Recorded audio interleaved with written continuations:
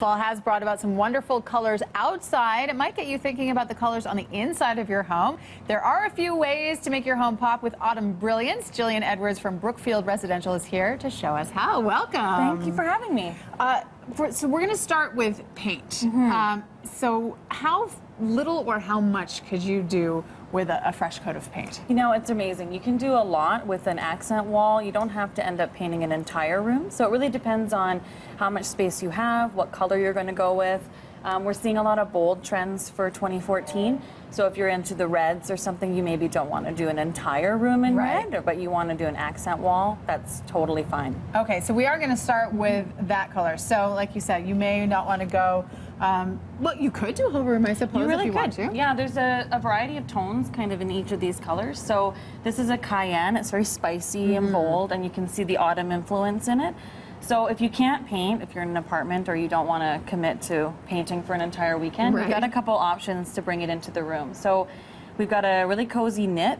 Um, and it's so easy. You put it on your couch, you've Right. got the fall color in, and when you're done, you can fold it up, put it in your closet.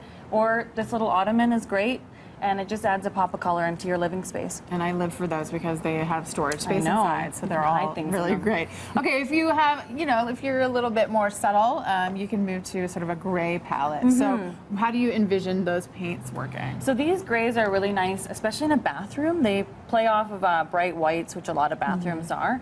And this, to me, is the easiest update that you can find. It's Right. a fresh set of towels and some porcelain accessories and like a new soap dispenser, and you look like you're right on trend. So it's amazing.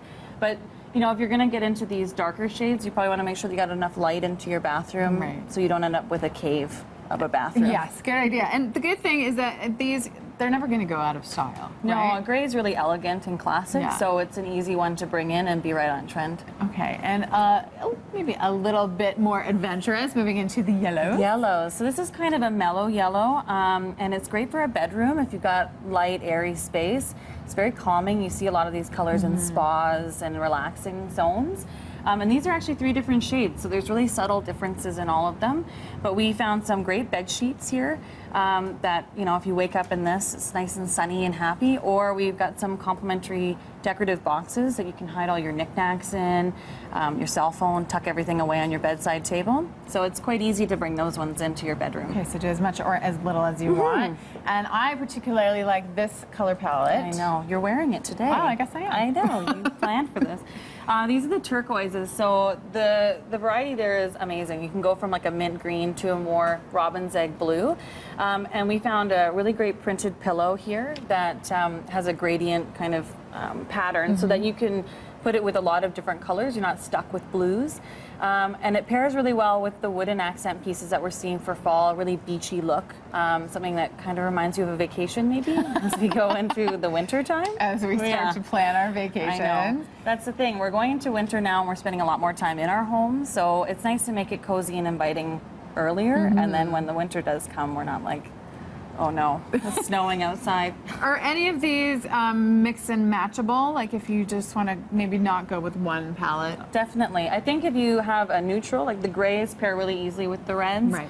Um, so you want to make sure that if you're doing a bright, bold color like the red, a maximum of two shades per scheme, and then start adding in the neutrals in the lamps and your couches and furniture. Okay, this is amazing advice. Um, how can people find Brookfield if they want some help? If they want to go on livebrookfield.com or check out some of our show homes, we're using a lot of these colors in our show homes now, so they can come and see them there. Yeah, you can get some fantastic ideas. Yeah. More information and links at breakfasttelevision.ca.